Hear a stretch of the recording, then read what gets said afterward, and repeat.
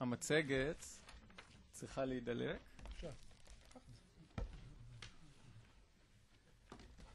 או, בסדר, בסדר. לוקח זמן.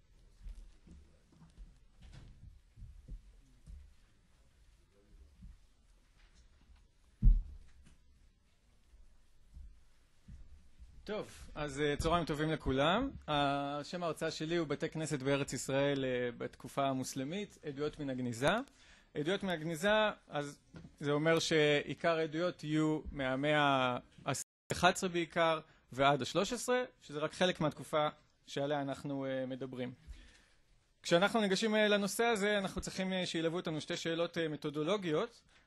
קודם כל, מה אנחנו מחפשים בטקסט ומה המשמעות הטקסטואלית של מונח שאנחנו מוצאים, ודבר שני, מה המשמעות הריאלית של אותו מונח בשטח. אז המונח שאנחנו מחפשים אותו זה בית כנסת או כנסת בעברית, בערבית כניס, כניסה, כניסייה. המונח הזה הוא גם מציין את המבנה של בית כנסת, אבל הוא בעצם יש לו משמעויות רבות אחרות. תפקידי בית הכנסת, כמובן מלבד שזה בית התפילה של הקהילה, זה גם מקום מושב בית הדין, במקומות שיש בית דין, מרכז לימוד התורה, גם לילדים, גם למבוגרים שרוצים בכך, מרכז פעילות הרווחה של הקהילה, גם איסוף תרומות, חלוקה, אירוח של נזקקים, כמו שאנחנו נראה בהמשך, וגם זירת המאבקים הפוליטיים, אם אנחנו רוצים להחרים לנדות, אם אנחנו רוצים לצעוק לקהל, לעצור את התפילה במחאה על משהו, להחרים את בית הכנסת ולמנוע תפילה בו, בית הכנסת בעצם הוא המוסד שלנו שם כך. כלומר, כשאנחנו אומרים בית כנסת, בעצם מילה מקבילה לקהל, לקהילה. זה המוסד החברתי שבלעדיו בעצם אין לנו הרבה. פרופסור משה גיל, שכבר הוזכר כאן, הוא אסף את רוב המידע שאני הולך להציג בפניכם במאמר שציין את בתי הכנסת, אני אציין עוד כמה שלא יזכרו אצלו במאמר. רוב הציטוטים גם שאני אביא מתוך מכתבי הגניזה, לקוחים מתוך הספר שלו על ארץ ישראל. אז אם אנחנו נסתכל על מפה של הארץ בתקופה המוסלמית הקדומה, נבחן כמה ערים שלגביהם יש לנו עדות לקיומו של בית כנסת. ראשית, אשקלון, יש כמה עדויות מהמאה ה-11 ומהמאה ה-12, למשל עדות אחת מהמאה ה-12 מציינת סכסוך בין הקהל לבין החזן, מה ראוי לעשות בכספי ההקדש של הקהילה. החזן רוצה לקנות מחצלות חדשות לבית הכנסת, הקהל רוצה לשפץ את המבנה, הסכסוך הולך ומחריף ובשלב מסוים הקהל נמנע במשך שבועות מלהגיע לתפילה בבית הכנסת. הנה לנו דוגמה לתפקיד הפוליטי של בית הכנסת. בקיסריה יש עדות מאמצע המאה ה-11 של סוחר שהספינה שלו טבעה והוא הגיע לקיסריה ולן שמספר חולן בבית הכנסת במשך חמישה ימים. אז הנה אירוח של אדם חסר כל. גם בעכו יש עדות, נכבד אחד מזמין נכבד אחר לפגוש אותו בשבת בבית הכנסת. בצור יש לנו כמה אזכורים, גם אחד שמדבר על מבנה, אבל גם אחד נוסף שבו החזן של הקהילה כותב לרשויות במצרים והוא מציג את עצמו, הוא אומר אני ראש בית הכנסת שלי, אנא ראיס כניסתי, והוא מספר על הבעיות שיש לו עם הקהל בנוגע לאיזושהי סוגיה של כשרות. זאת אומרת שוב, הוא מנהיג של הקהל, יש לו איזושהי בעיה חברתית, אבל התואר שבו הוא משתמש הוא ראש בית הכנסת. לבד מהערים האלה יש לנו כמובן גם עדויות על רמלה וירושלים. ברמלה עצמה יש לנו עדויות ככל הנראה על ארבעה בתי כנסת שונים. בית הכנסת הירושלמי שהוא הגדול, שהיה לו גם שטחים שצמודים אליו ומבנים שמעליו ומקווה שכולם שייכים לו. בית הכנסת הבבלי, הם מוזכרים לא מעט. בנוסף יש לנו אזכור בכתובה, אחד העדים שחתם על כתובה ברמלה חותם גם את תפקידו, שמש בית הכנסת האמצעי ברמלה. זאת אומרת אולי בית כנסת שלישי. בית כנסת רביעי הוא בית כנסת קראי.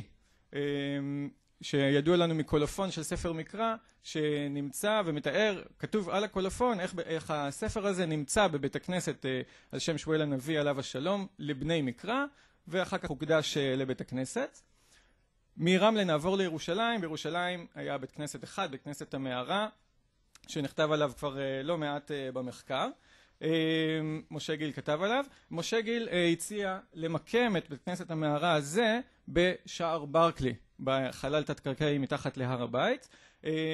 יש הצעה נוספת חדשה יותר של פרופסור בהט לגבי שער וורן.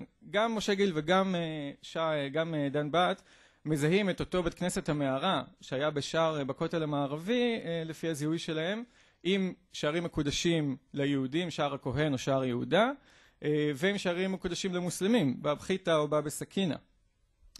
לעניות דעתי, שני הזיהויים האלה הם מעט בעייתיים, הם לא מבוססים דיים.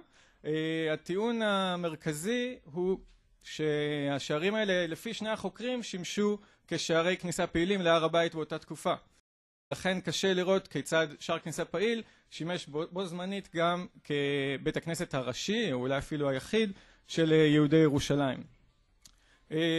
בנוסף, שערי הר הבית היו קדושים ליהודים באותה תקופה, הם התפללו עליהם, הם הסובבו אותם, ולכן זה מעט מוזר שאף אחד מהאזכורים הרבים של בית הכנסת המערה לא אומר לנו שבית הכנסת הזה הוא שער, וגם אף אחד מהאזכורים הרבים על תפילות בשערי הר הבית לא אומר לנו שאחת התפילות, התפילה באחד השערים, מתבצעת בבית כנסת המערה או לידו או בכניסה אליו.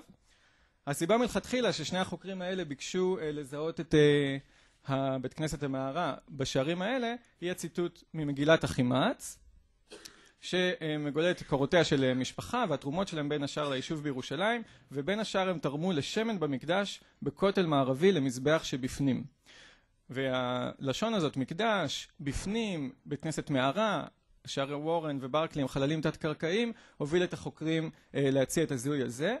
אני חושב שהזיהוי הוא לא הכרחי, הוא אפשרי אבל הוא לא הכרחי שמדובר כאן בבית כנסת, המילה לא מוזכרת במפורש. אם קוראים את ההקשר באותו טקסט של מגילת החימץ, מדובר על שורה של מטרות פילנטרופיות שהגיבור שלנו תרם אליהם. בין השאר הוא תרם לדלים והגונים, לחכמים ודרשנים, ושמן למקדש בכותל מערבי למזבח שבפנים, ולבתי כנסיות לקהילות הרחוקים והשכנים ולאבלי המשכן וכולי. כלומר, לפי דעתי, יש כאן קטגוריה נפרדת, הוא תרם גם לשמן במקדש, שהשד יודע מה זה, אולי זה אחד מהשערים שבהם התפללו וצריך להעיר אותו, ובנוסף הוא תרם לבתי כנסת. מכל מקום הזיהוי הוא לא זיהוי מוכרח, ושני הזיהויים הספציפיים, ברקלי ווורן, הם זיהויים בעייתיים לדעתי.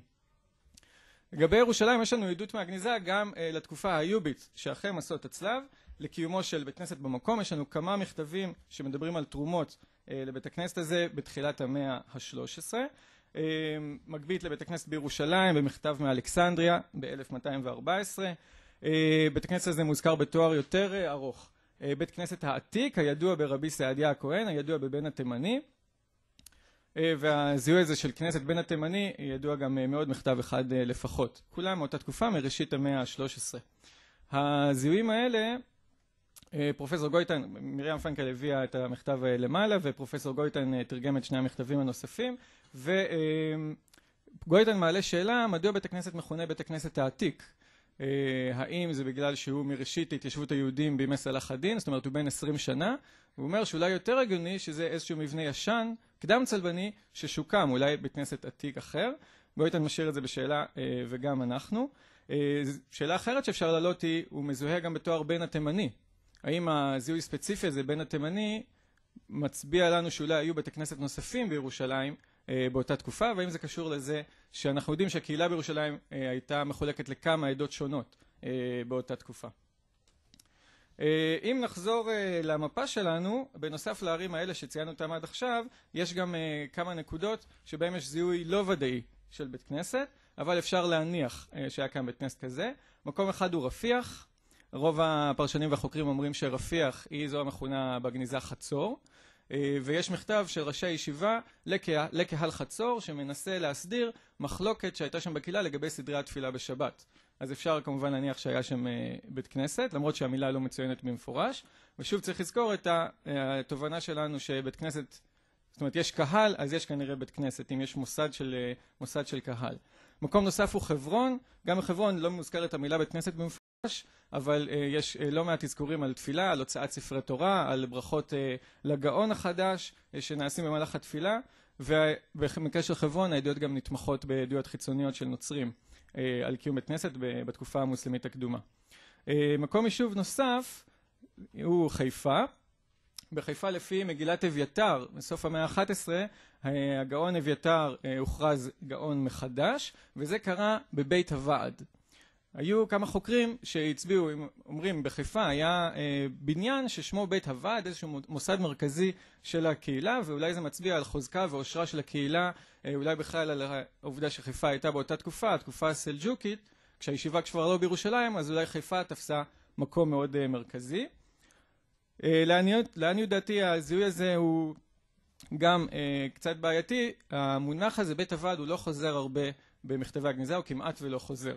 בספרות חז"ל הוא כן חוזר, בית הוועד המשמעות שלו זה המקום המרכזי של לימוד התורה, זה המקום המרכזי של בית הדין.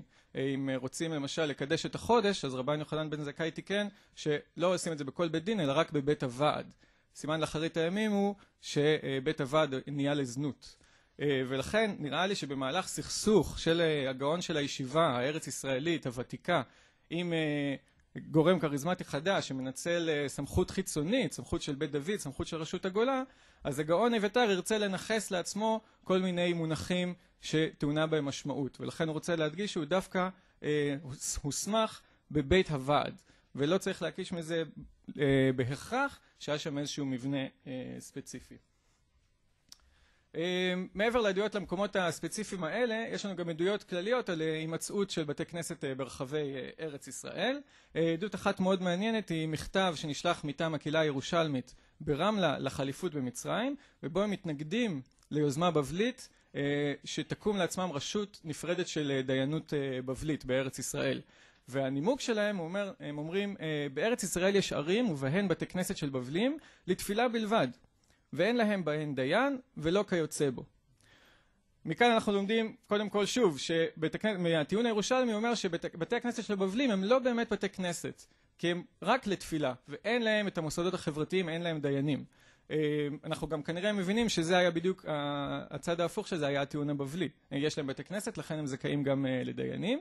ואנחנו גם למדים את זה שמציאות של בתי כנסת נודע נפוץ שאף אחד לא מכחיש אותו ושאין גם בעיה של השלטונות עם בית הכנסת הזה. אם אנחנו נעבור הלאה, מתוך כל הידיעות האלה, זאת המשמעות הטקסטואלית, מה המשמעות הריאלית של המבנה הזה בשטח של המושג בית כנסת. אז כשאנחנו אומרים בית כנסת, אולי קופץ לנו לראש איזשהו מבנה כמו בית הכנסת בברעם, אבל זאת לאו דווקא הייתה המציאות בשטח באותה תקופה. הכל כמובן תלוי בעושר ובחוזק של הקהילה. ניתן כאן שתי דוגמאות שונות. דוגמה ראשונה היא בית הכנסת המערה בירושלים. בראשית המאה, בשליש הראשון של המאה השלוש...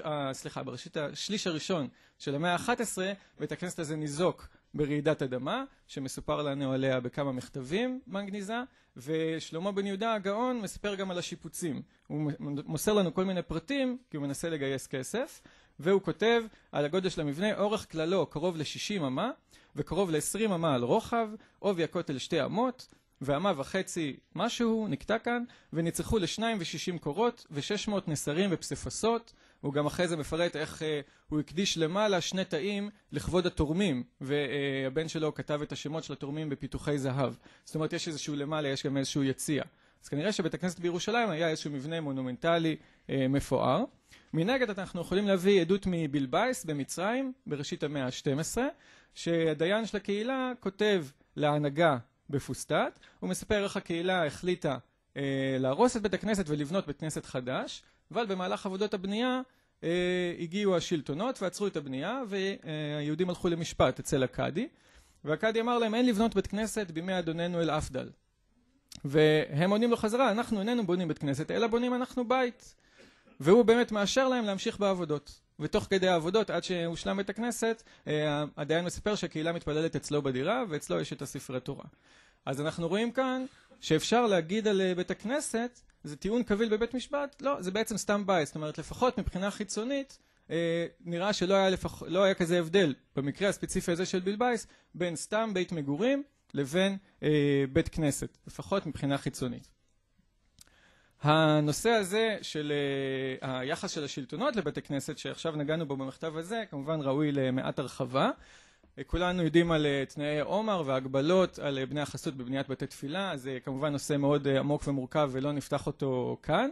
רק נגיד בקצרה שהתנאי עומר היו התפתחות ארוכה של מאות שנים גם של החשיבה הדתית ההלכתית וגם של ההתנהגות של השלטונות בפועל והן לאו דווקא מקבילות אחת לשנייה יש לנו את המקרה הכי ידוע, הכי קיצוני, של החליף אל-חאקם בתחילת המאה ה-11, שהוא מתועד אצלנו בגניזה ולכן עליו אני אדבר. מדובר גם על הרס הכנסיות, אבל גם על כך שאחרי שאל-חאקם נעלם, ובימי הבן שלו אפשר היה לשוב ולבנות את בתי התפילה, יש מכתב של קהילת טריפולי בלבנון, הם שולחים לאחד הנכבדים במצרים, והם מתארים לו, אנו בצער גדול, בלא מקום לנו לתפילה. מקומות בית ישראל חזרו אליהם כנסיותיהם, אל המדינתנו, בשביל שהיו עשו הכניסה מרגז, או מירג'ז. והם מבקשים ממנו שיעשה עמנו חסד בנשתבן מן המלכות, שנבנה לנו מן מקומותינו החרבים, אשר עבדי המלך יושבים בהם בלא שכר, בית כניסה ככל המקומות. ומודיעים לאדוננו כי בזו השנה בנו קהל גובה אל בית כניסה, ולא אמר אחד מן הגויים כלום. אז אפשר ללמוד הרבה מהמכתב הזה, אפשר ללמוד עצם החרמת בתי הכנסת בימי אל-חאקם גם במקום יחסית מרוחק.